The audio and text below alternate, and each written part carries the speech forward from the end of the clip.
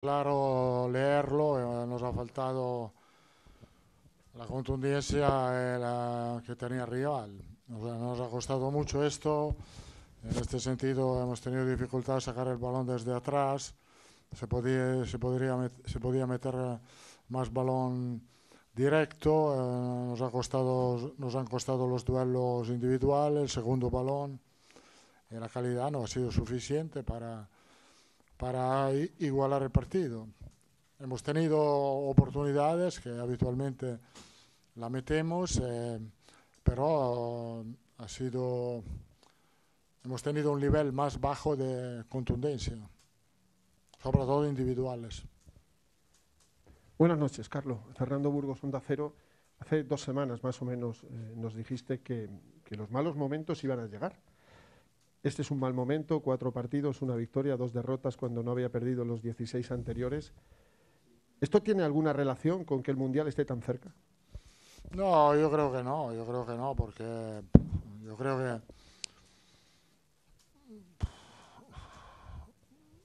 llegamos justo a este parón porque hemos jugado demasiados partidos. Esto es, es bastante normal, todos los equipos los juegan, no todos, casi todos.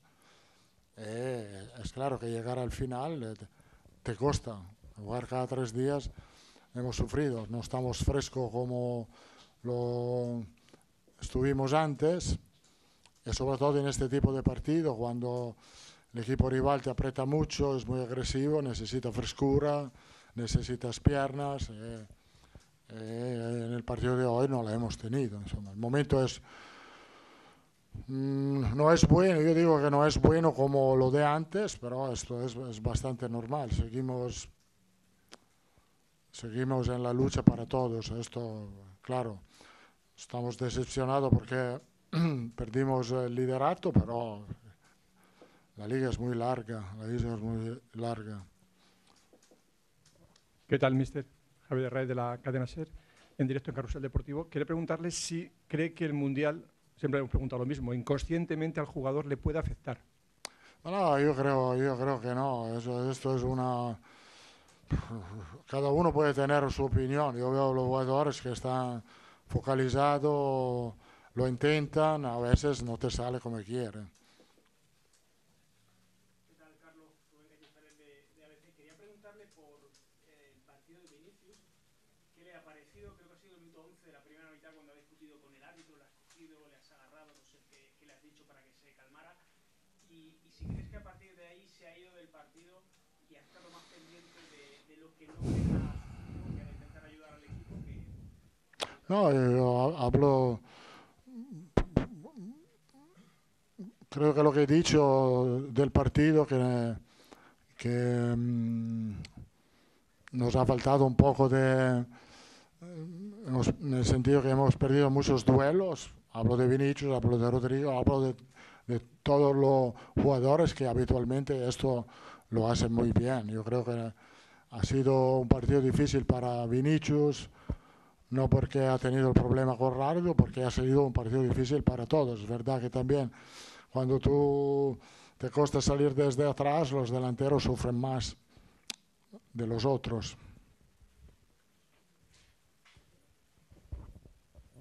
Buenas noches, mister Carlos Forjanes del diario AS. Perdone que salga un poco del partido porque hoy ha sido el sorteo de, octavos de la Champions. Me gustaría saber un poco su valoración de, que le ha tocado el Liverpool otra vez eh, de nuevo.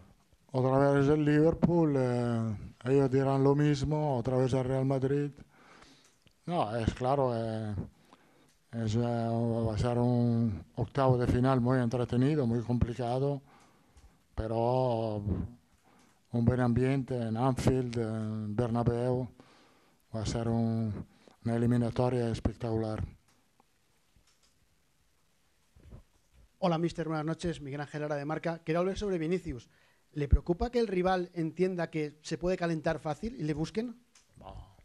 Yo no creo que ha, ha tenido una marca especial hoy. Siempre tiene marcas especiales. Vinicius hoy no ha tenido el nivel que habitualmente ha tenido en todos los partidos de esta temporada. Nada especial. Hola, Carlos. Hola, Carlos. Buenas noches. Olivier Lorenzo del País. Habla de frescura, habla de falta de contundencia. El equipo de nuevo se ha visto muy superado, especialmente al inicio del partido. Esto es una, algo recurrente en, los últimas, en las últimas semanas. ¿Ahí también le faltaban piernas al equipo al principio? Gracias. Io, come he dicho, justo para aclarar, no es un problema físico el partido de hoy, no es un problema absolutamente físico porque todavía si no estamos frescos como antes, cuando yo hablo de duelo, de contundencia, no es solo un problema físico, cuando yo tengo, hablo de que hemos tenido dificultad a sacar el balón desde atrás, eh, hablo de estrategia, que puede ser no ha sido la, la, más indicada, se podía poner, yo no tengo miedo a meter balón largo, eh, a veces lo tenemos que hacer, en este particular eh, problema puede ser que ahí el entrenador ha fallado algo, no forzar al equipo a sacar demasiado desde atrás, pero yo creo que algún balón largo se podía meter. Hola, Juanma Sánchez de Radio Nacional para Tablero Deportivo.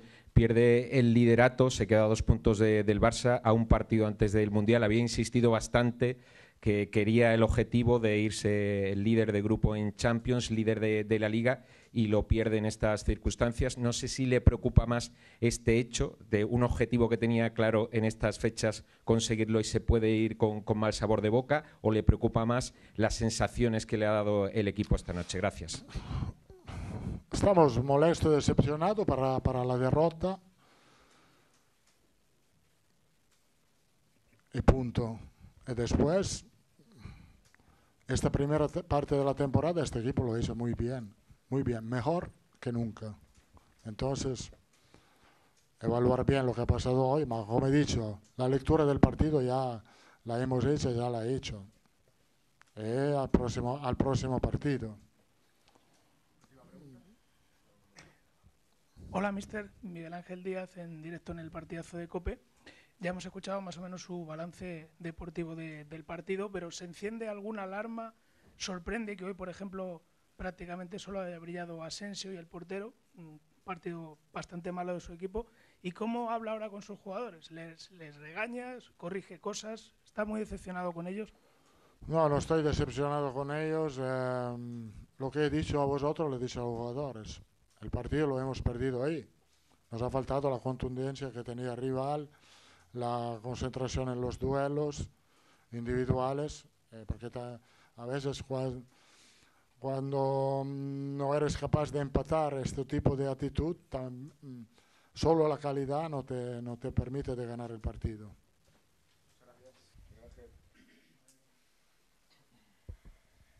Andoni, buenas noches. Enhorabuena por la victoria. Miguel Ángel Tejeda de Pasión por el Rayo. Eh, lo ha gritado todo el estadio y la crónica de nuestro medio así lo dice, el nuevo Mata Gigantes. ¿Qué sensación le deja el partido de hoy a Andoni Iraola? Bueno, me deja una sensación de, orgullo, sobre todo por mis jugadores, porque yo creo que hoy han hecho un esfuerzo terrible, una demostración de, sobre todo, de mucha personalidad, independientemente de que han jugado muy bien. Eh, el, escenario que se nos ha puesto en la primera parte, después de la primera parte que ha hecho el equipo, de ir perdiendo 1-2, pues eh, es, complejo y es difícil de superar esa situación. Y bueno, el gol de Alvarito yo creo que ha sido clave para irnos al descanso. Segunda parte, yo creo que hemos salido igual que como hemos acabado. Y bueno, muy contento sobre todo por, por los jugadores y también por la gente que ha estado con nosotros hoy en el estadio, que yo creo que habrán disfrutado y a seguir, ahora a recuperarnos porque en, nada, en dos días y medio estamos otra vez aquí. Hola Andoni, buenas noches. David Ramiro de la agencia EFE. El otro día hablaba con Oscar Trejo y él decía que, que, el vestuario estaba muy convencido de que esta vez se podía ganar al Real Madrid. No sé si esos minutos previos al, a este partido tú veías esa actitud eh, dentro del vestuario. Sí, yo en general antes de los partidos solemos ser optimistas. Al final el jugador, sobre todo en este tipo de, de escenarios eh, contra estos rivales, eh, los nuestros suelen fallar poco en el sentido de que salen siempre bien concentrados, no les pasa el partido por encima, luego pues bueno, pues te equivocas, no te equivocas. El año pasado también hicimos dos partidos bastante buenos y, sacamos cero puntos contra el Real Madrid. Pero hoy yo creo que ha sido muy completo, muy completo. Eh, yo creo que hemos jugado mucho tiempo en campo del Real Madrid. Hemos tenido ocasiones tras robo, hemos llegado mucho por fuera, eh, hemos estado bastante, bastante bien en transiciones. Al final hay momentos contra el Madrid que siempre vas a sufrir, porque son muy buenos y, y necesitan poco para, para hacerte daño, pero bueno, incluso los últimos minutos que ya estábamos más atrás, pues bueno, el equipo se ha, se ha comportado bien. Hola Andoni, buenas Muy noches. buenas. Miguel Ángel Lara de Marca. Eh, habéis hecho mucho daño por la banda izquierda, eh, tanto en ataque como a la hora de, de presionar la salida del balón del Madrid sobre Carvajal y Militao. ¿Era algo estudiado, premeditado? Bueno, al final hay que tapar muchas cosas cuando juegas contra un equipo de estos. Al final hay que tapar muchas cosas y, bueno, puedes elegir, digamos, cómo inician o, bueno, por dónde van los primeros pases. Tampoco puedes elegir mucho más. Pero, bueno, sí es verdad que el, el equipo normalmente, muchas veces, solo se... Dices, cuando tienes el balón propones. Hay veces que sin balón también puedes proponer. Puede ser un poco el, el que sin, sin necesidad de, de ese balón, pues elijas un poco cómo va el partido. Eh, hoy, sobre todo luego, hemos estado muy bien cuando ya metían el pase dentro. Hemos priorizado siempre los, los pases interiores y bueno, la verdad es que el equipo a nivel de duelos, a nivel de intensidad, a nivel de, de creer, eh, ha estado muy bien. Aquí, Mister Carlos Forjanes de Alias. Quería preguntarte lo más obvio, ¿qué ha pasado con el, con el colegiado? Y lo segundo, ¿qué, qué te ha parecido que la afición te ha, te recordado tu nombre al salir? Sí, bueno, al final eh, con el colegiado, pues bueno, pues he hecho un gesto de como diciendo, os he pedido un córner, que yo creo que era evidente que todos eh, los líneas, el cuarto árbitro, todos habían visto que era, era córner para nosotros y veníamos además de dos fueras de banda, uno a favor y otro en contra, que también el árbitro se había equivocado y, y no lo habían corregido cuando todos sabíamos que eh, se había equivocado él, él el primero. Yo estoy convencido que viendo la reacción de todos los jugadores, entonces le he dicho como diciendo, una, dos, tres. En la primera parte, en el segundo gol, creo que el cuarto árbitro le dice, es un forcejeo, no pites nada, que es un forcejeo, que no tal, no es suficiente. Digo, joder, no jugada que le pilla el cuarto árbitro desde 60 metros, da su opinión, y cuando es algo que, que lo vemos todos, pues entonces ya no quieren, no quieren decir nada. El cuarto árbitro simplemente le echa un gesto. Y el castigo que tenemos los entrenadores cuando hacemos un gesto, cuando levantamos los brazos, o es, es muy grande, es muy grande, no por el partido de hoy, que ya está sancionado y que ya el equipo se ha decidido el partido se ha decidido sin mí, sino que el siguiente partido eh, tampoco puedes estar y bueno, nosotros además tenemos que entender muchas cosas, pero no por mí, ¿eh? a Aguirre creo que le pasó hace nada, eh, a nosotros pues yo creo que nos entienden menos. ¿Qué tal, mister? Por aquí, Josué en la televisión española. Ha dicho Carlo Ancelotti varias veces que no influye la cercanía del Mundial en un partido como el de hoy, en su equipo, entiendo. Yo le quería preguntar si le ha influido al Rayo para bien en este caso al no tener Mundial esos jugadores y el haber podido meter más la pierna, jugar hasta el último balón y ganar en todo eso que nos ha contado, ¿no? las luchas y demás. Bueno, no, eso ya del Real Madrid ahí no puedo, no puedo hablar, ¿no? Yo creo que mi equipo ha salido muy bien, ha salido muy mentalizado, sabíamos el partido que teníamos enfrente, el partido contra el Real Madrid, pues bueno, ¿qué más más a pedir? En Vallecas, con el apoyo de la gente, el estadio lleno, para nosotros era un escenario fenomenal y a nivel de, de concentración, de intensidad, de agresividad, hemos salido muy bien, muy bien. Y bueno, pues eh, ahora parece porque has ganado que el Real Madrid, bueno, no sé, eso lo, lo- lo- lo valorarán ellos, yo ahí no me puedo meter.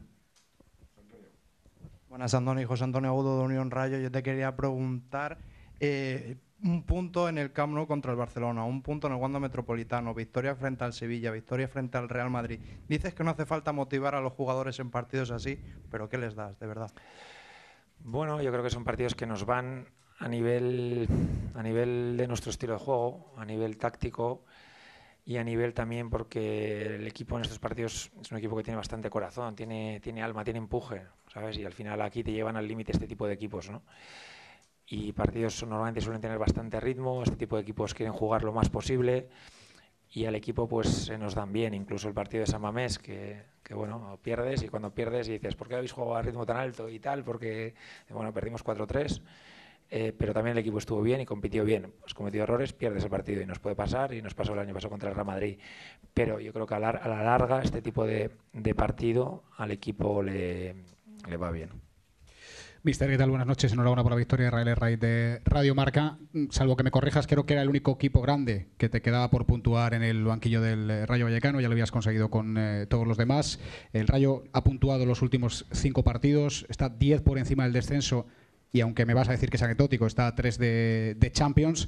Eh, hablando del Mundial, ¿a ti ahora te preocupa que esta racha se frene precisamente? ¿No le viene bien el Mundial al Rayo? Bueno, eh, nos gustaría continuar, la verdad, porque estamos bien a nivel de forma, estamos bien a nivel de lesiones y bueno, estamos en un buen momento. La verdad, los jugadores individualmente están bien, el equipo, pues bueno, los de que juegan, los que no están empujando y bueno, vamos a intentar aprovecharlo. Es verdad que ahora tenemos un partido que, que me preocupa un poco, ya me preocupaba antes por el tema del descanso. Al final jugamos en, en- en, pues eso, como hemos hablado, menos de 72 horas. Estamos aquí contra un equipo también que, que, bueno, que nos lo va a poner muy complicado y vamos a intentar ¿no? acabar bien contra el Celta, acabar bien Copa del Rey y volver a resetear, porque ahí sí que ya todos empezamos de cero, no a nivel clasificatorio, pero sí a nivel de estado de forma y volver a intentar, pues bueno, pues eh, eh, continuar pues en la senda que, que estamos ahora.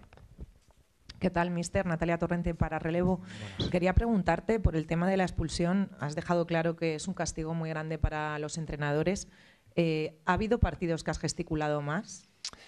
Bueno, seguro, seguro que ha habido partidos que habré gesticulado más, ¿no? Yo creo que al final son partidos de tensión y lo dije, yo creo que esta semana lo he dicho con Ancelotti que decían que le iban a sancionar, que no tenía ningún sentido, ¿no? Siempre que no haya insulto, no haya algo excesivamente, no sé, que abandones el área técnica 40 metros, que algo, no sé. Al final, ¿sabes lo que pasa? Que no es como los jugadores, que ya es un, incluso a veces te, te- te- este es el partido y dos partidos más, o sea, como dicen, tres partidos de sanción por, por hacerle así.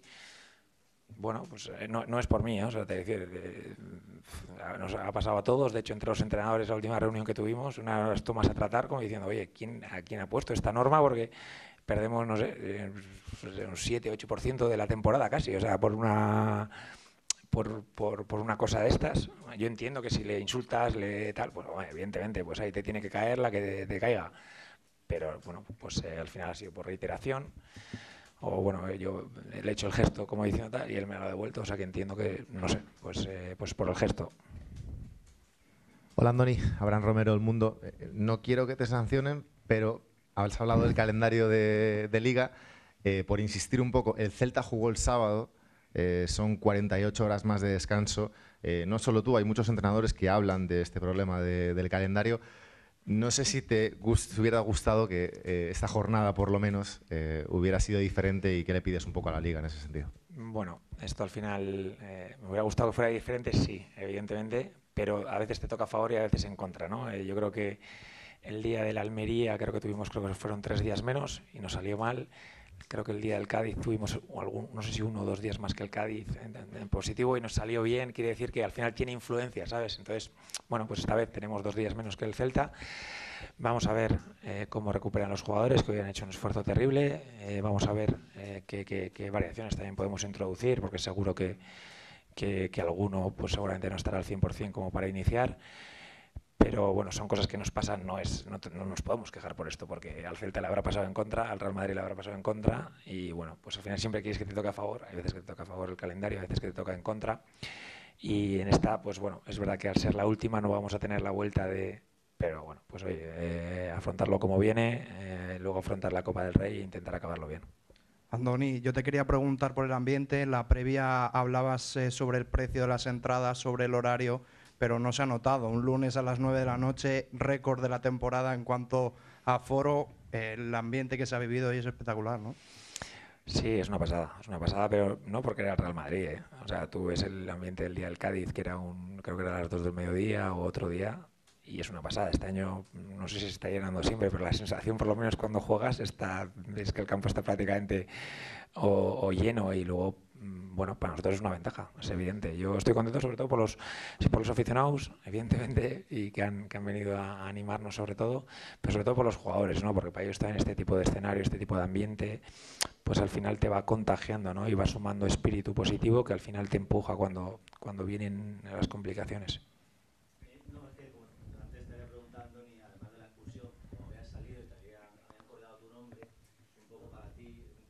Comunión que hay con la gente de Vallecas, supongo que te habrá... Sí, evidentemente. Agradecer, agradecer eh, a, todo el mundo, sobre todo pues lo que lo que nos empuja a todos, ¿no? Eh, sobre todo a los del verde, que son los que nos van a ganar los partidos. Los de fuera, pues les tenemos que ayudar, pero no vamos a, a poder eh, influir todo lo que, lo que nos gustaría, ¿no? Pero bueno, yo creo que al final nosotros tenemos la ventaja de tener nuestra gente y, bueno, cuando vienen mal dadas también están ahí y tenemos que intentar aprovecharlo. Una pregunta por favor. Sí, allí, la última.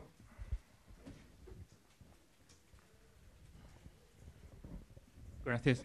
Buenas tardes, Andoni Dermot Corrigan de The Athletic. Enhorabuena por, por la victoria. Eh, si no me equivoco, son ocho jugadores del equipo hoy que han jugado contigo en segunda hace poco. ¿Cómo se explica que el mismo grupo puede dar tanto salto tan rápido? Sí, yo creo que son ocho, incluso Iván, ¿no? que viene, no, no con nosotros, pero jugó también con Almería en segunda división en nuestra misma temporada. Eh, bueno, hay un punto positivo ahí, ¿no? Primero que nos conocemos ya de mucho tiempo, eh, sabemos nuestros puntos fuertes, nuestros puntos débiles, tenemos ya automatismos que el, que el equipo domina, ¿no? Que no tengo yo necesidad de andar corrigiéndoles todo el rato, podemos profundizar mucho más en los detalles. Y luego hay un punto de hambre, de ambición, de querer demostrar, jugadores que quieren demostrar que pertenecen a esta categoría, a muchos les ha costado mucho llegar aquí y sabemos que esto no es demostrarlo una vez y te quedas, ¿no? hay que demostrarlo todas las semanas y el día que no lo demuestres vuelves abajo. Entonces, esa continuidad, ese, ese, ese querer decir, no, nosotros pertenecemos aquí y queremos demostrarlo, eh, pues por ejemplo para mí como entrenador me hace el trabajo mucho más sencillo. Gracias. Gracias.